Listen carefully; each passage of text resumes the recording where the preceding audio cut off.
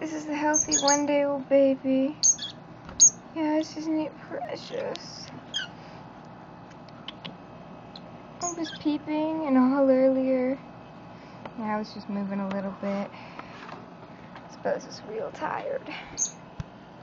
Let me try to get it into the light more. It's really hard to navigate this big old light I have here. I would.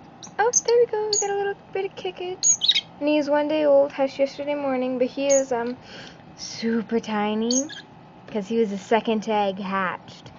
But he hatched a day early. First egg never hatched. There was always something wrong with it, unfortunately.